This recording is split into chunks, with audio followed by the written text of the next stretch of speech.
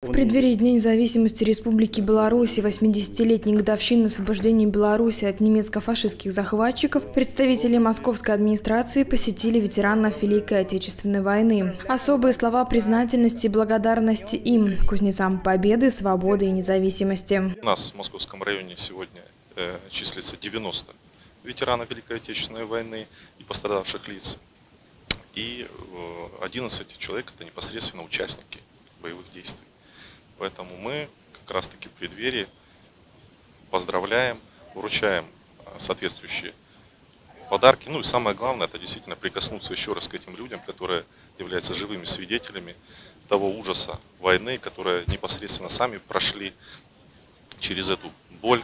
У нас каждому ветерану индивидуальный подход, и каждый ветеран – это личность, а, которого свой жизненный путь но необходимо сказать, что неизгладимое впечатление, конечно, оставила война, э, но они не утратили жизненную искру, то есть они выполняют очень ответственную социальную нагрузку, то есть они работают с нашей молодежью, э, и очень важно вот это традиционные моменты, э, чтобы они чувствовали нашу любовь и заботу и понимали, что они не забыты. Через многое пришлось пройти Дмитрию Ивановичу Маматюку на своем веку. Кажется, что каждая веха истории отражалась и в его жизни. Рабство в Германии, куда был насильственно вывезен в 1943 году, и служба в действующей армии в период боевых действий 1945 года. Работа на главных послевоенных стройках Сибири и Дальнего Востока. За плечами Дмитрия Маматюка без малого 50 лет работы на разных должностях. От простого почтальона, плотника, работника – рыбзавода до начальника отдела. Рассказано очень мало. Вспоминать он никогда не любил. Он с 23 -го года рождения. В 43 году угнали в Германию. В 45 году в январе он на территории Польши в районе Гданьска вступил в Красную армию или Советскую армию служил в саперах, участвовал в штурме Одера, переправе через Одера, там колоссальные потери, о чем он рассказывать не, не любит, потому что ну, там много чего было. У папаши из правильного места растут руки. И он все время, у них была дача когда-то, квартира, дача и так далее. Когда он понял, что да, не очень удобно, так сказать, получилось как раз переехать сюда – и он до последнего времени, уже инсульт был три года назад, он и после инсульта ковырялся в земле. То есть он все время чем-то занимался. То есть пока он двигался, у него все было в порядке. Сейчас сложнее, потому что он движется меньше. Ну, возраст.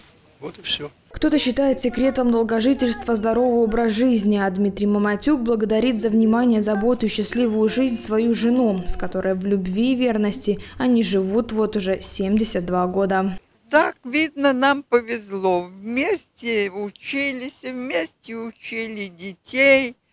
Мы же тоже нархоз кончили, уже дети 10 класс окончали. Он вообще в Москве учился. Слава Богу, как-то нам везло. А расскажите немножечко о своем супруге. Вообще, какой он человек? Он очень добрый, не жадный он все следил, чтобы дети читали, учились, очень хотел, чтобы они имели образование. Хотя ему в жизни не пришлось, он поздно очень. Ну, первый поступил и меня втянул, потому что я перед этим только техникум имела.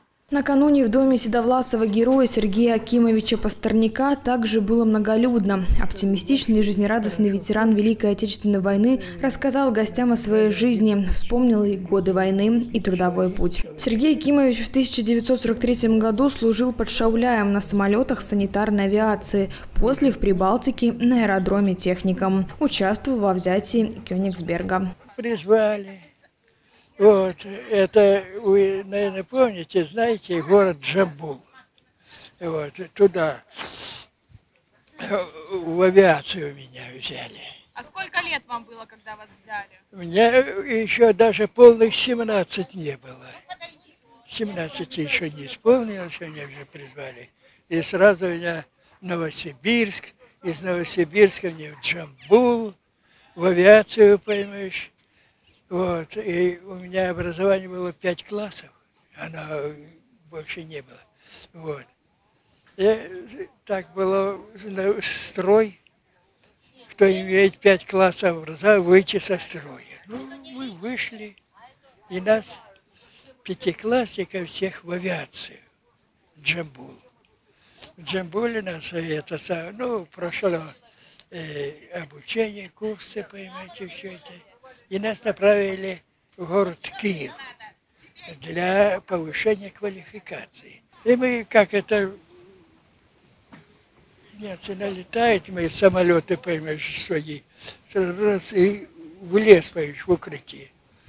И он как налетел, как начал строчить. А я вот как держались, и меня в руку и, и сюда. Тогда уже поняли, вот в 17 лет, когда у вас были первые ранения, что началась война, и вообще вот что вы чувствовали внутри? Ой, внутри, ну как сейчас, конечно, выразить того, не выразишь, конечно, уже сколько лет прошло много. Посетив ветеранов, гости каждому выразили слова благодарности и уважения, отметив их героический вклад в защиту страны во время Великой Отечественной войны. Они подчеркнули важность сохранения памяти о подвиге ветеранов и передачи их опыта и ценных уроков молодым поколениям.